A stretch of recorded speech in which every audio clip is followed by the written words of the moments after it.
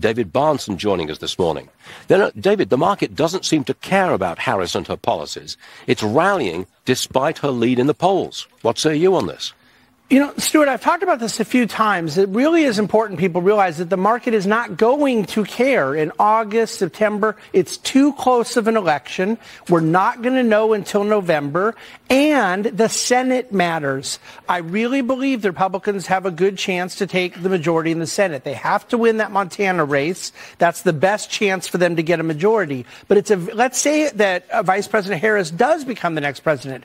None of these policies she's talking about are ever going to become become law. Markets have to respond to what will be happening legislatively. So the divided government scenario that we've had most of my adult life, markets don't mind that as much. Would you say that the market at this moment is more motivated by interest rate cuts at the Fed than by the electional politics?